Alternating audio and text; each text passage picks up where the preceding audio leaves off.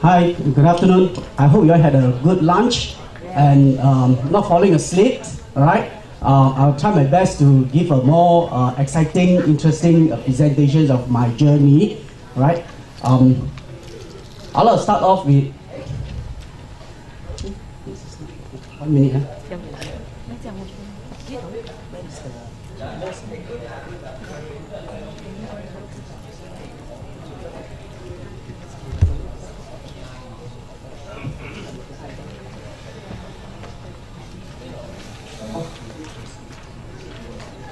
Okay. Okay. All right. I, um, I'm Steven Kong. Right. Um, I'm 55 years old. I'm working for Novartis, which is a pharmaceutical company. Right.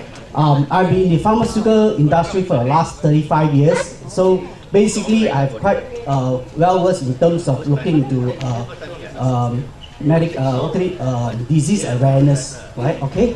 Uh, these are my family. My wife, Shane, she's with me. Um, my daughter, Carmen, and this is my son, uh, Kelvin. All right. Okay. Um, I would like to start with this quote. I think this is very interesting, right? Uh, if uh, Jambunadan was here just now, he would have uh, still have stolen this quote from me. Okay.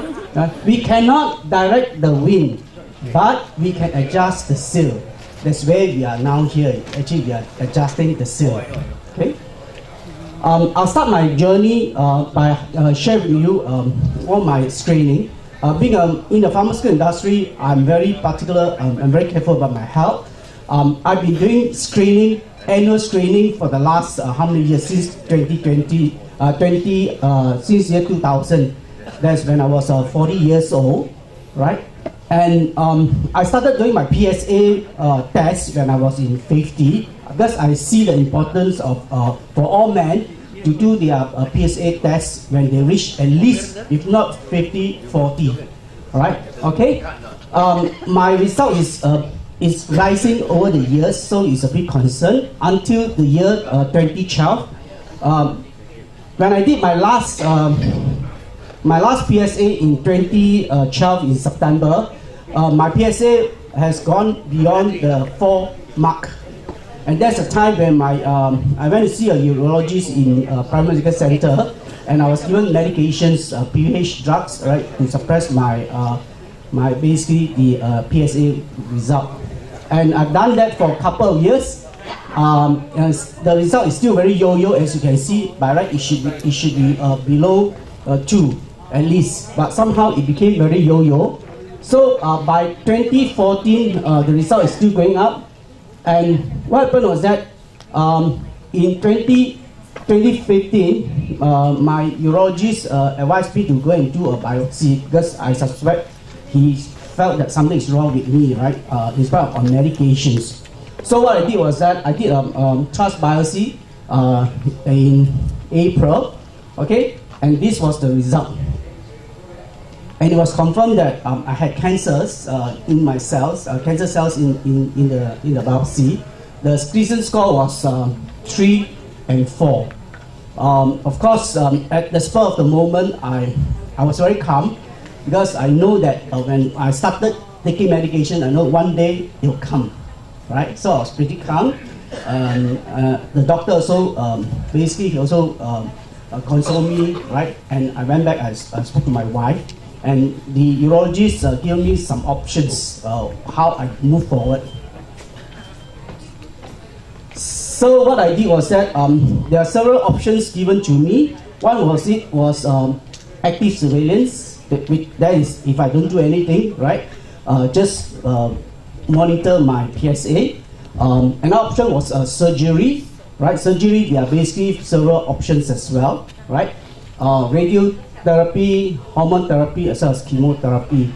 However, um, because of my age and my children are grown up, so uh, I said, let's remove it, right? So you don't give me that kind of burden to think that why that thing is still there, right? So what I did was that um, the urologist uh, recommended me to uh, HKL uh, to basically to seek a second uh, opinion and also uh, what treatment options are available.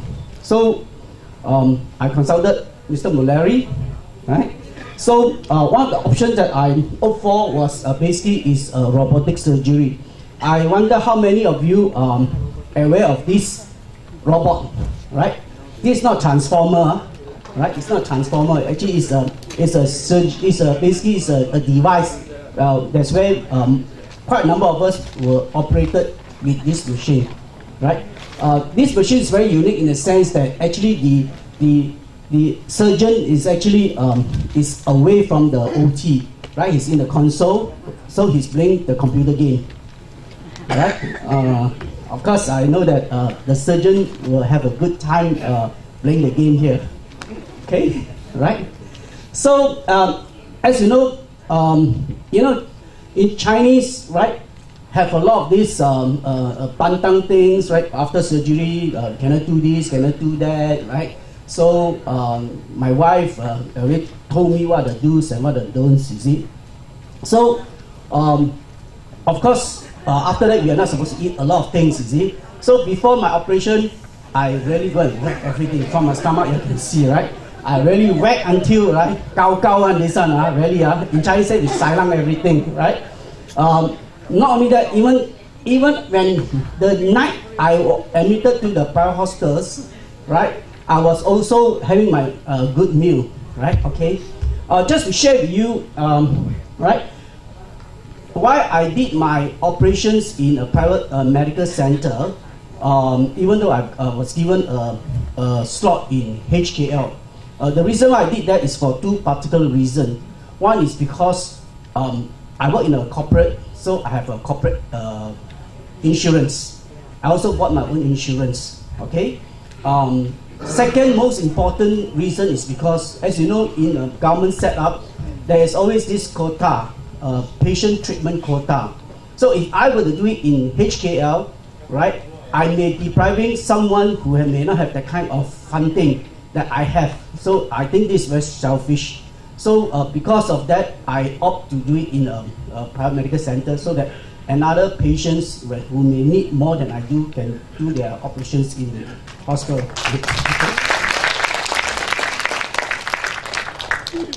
Um, as you can see, I, I, was very joyous. I, I was in the OT by 7.45 um, and my operation took uh, quite a long time, um, up to, uh, I came out, according to my wife, I blah blah, I don't know what time, uh, it was uh, 5.20.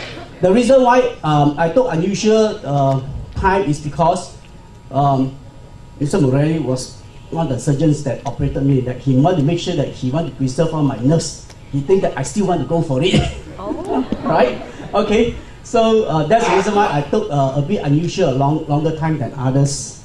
Of course, um, uh, when I came out, um, what is important is I have um, a lot of pretty nurses uh, took care of me right? But I, men are very, very, very unsatisfactory, right? Besides all these nurses, I also employ a 24-hour personal nurse. This is my nurse. Okay, right? Um, she was with me for the for the last four days, right? Okay. Um, what is you see the beautiful thing about this um, robotic surgery, which I'm not trying to advertise, right? Is is less invasive. Right? If I were to go for um, an open surgery, I would be lying on the bed, right, uh, for at least one or two weeks. However, uh, with this uh, advanced technology, somehow I managed to uh, recover uh, speedily, right? Okay. Um, as you can see on day two, uh, my friends visited me, right, and I was already on a liquid diet, right? Okay. And day three, I already start walking, right? I already start walking, and also, um, as you can see, uh, it, it, doesn't give me the kind of uh, burden that, that, that I would expect it to see, right? Okay. By day four, uh, I was already on uh, on uh, what call it um, hard food, right? Okay, I enjoy myself, right? So um, as you can see, I eat a lot. Okay. Um, a lot of people like to know how much it costs if um, you were to do it in a private medical center. Okay, uh, it's not very expensive. I just burn one car. Okay, right. Um, by day five, I'm very happy. I went home, right? Of course, I don't have so many nurses take care of me except my 24 hours nurse. I was very happy. Um, um, went back home. Okay. Uh, the next question she will ask how I manage myself, right? I was very lucky because I worked for a very good company, right? I was given a two months confinement. Not only ladies, got men also confinement, uh, two months. Uh. Okay, right?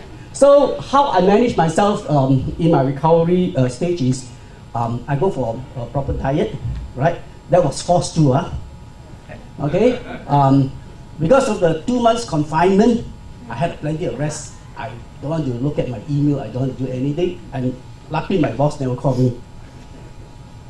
Um, I avoid stress. I think that's very important. I mean, during your recovery period, I think you have to be really calm, relax. Um, if you stress and you think about your work, I think this will impact your recovery period. So for those who are going to uh, for the surgery, make sure that you have enough rest, uh, relax yourself, right? Make sure that you don't stress yourself, right? Okay.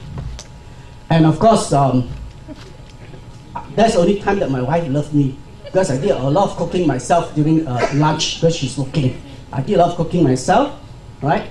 And the other thing is, um, of course, you know, in, in our surgery, there are two concerns, right? One is uh, incontinence, right? The other is, um, of course, uh, erectile dysfunction.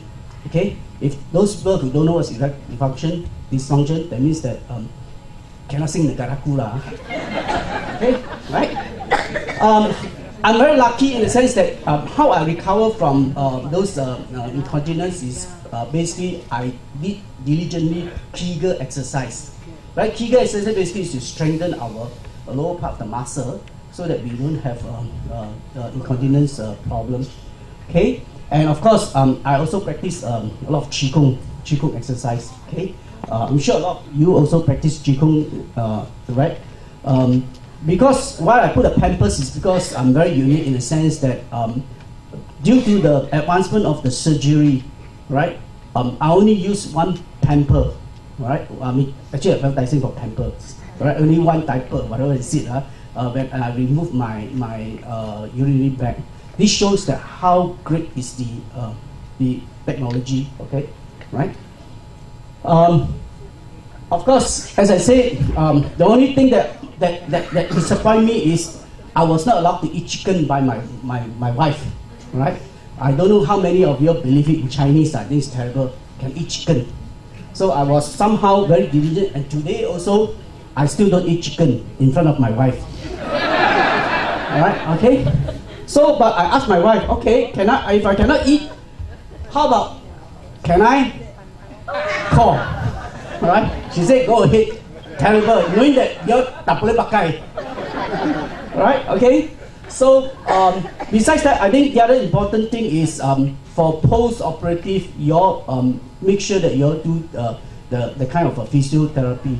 I think HKL has, um, has got the best uh, physiotherapist uh, uh, practices. I'm very, very appreciative of that.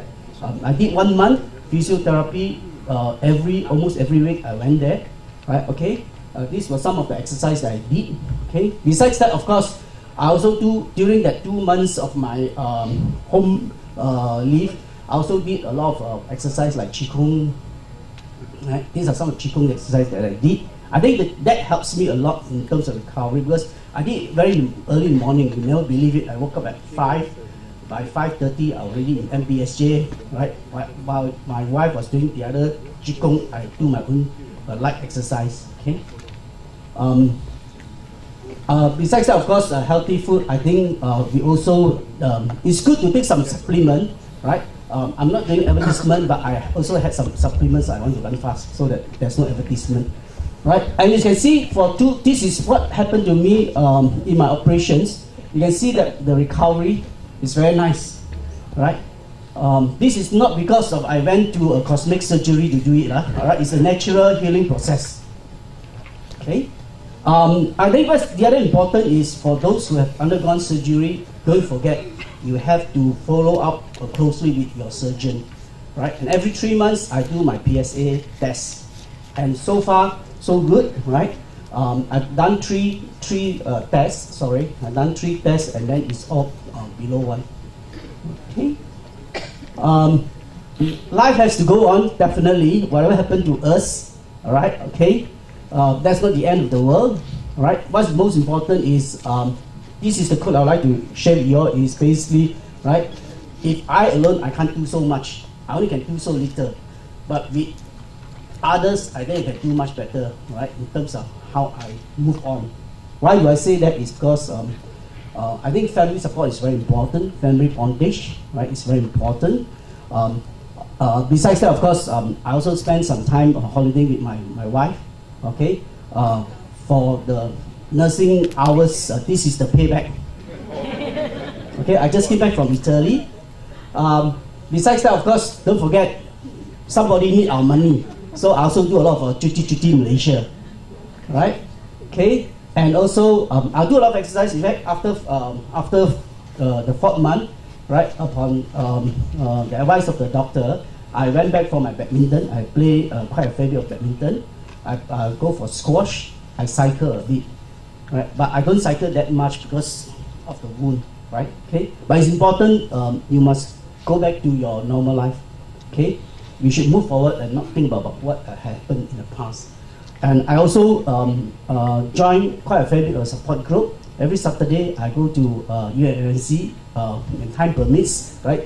Exercise, right? Together with uh, Prof. Uh, uh, Prof. Hatta, as you can see just now. Um, I joined the, the, the run. I'm very patriotic. I still wear the cap. Thanks. Um, I also do quite a fair bit of community work. I think it's important to spend time with, um, with the society, right? Okay, and also uh, this is most important among all the slacks, right? Don't forget, you still have to life has to go on. You still have to makan. You can see all these are my makan friend, right? I still enjoy makan. Okay, right? Uh, rest assured, no chicken here. Okay. Um, I'd like to end end my presentation in this slide in the sense that um, I think it's very meaningful. One must not uh, one must not forget that recovery is brought about not by your physician, all right, but by yourself. Uh, um, in terms of healing, right? The way the way you think, the the, the, kind of empowerment that you have, right? Okay. Um, thanks. Life is cheers.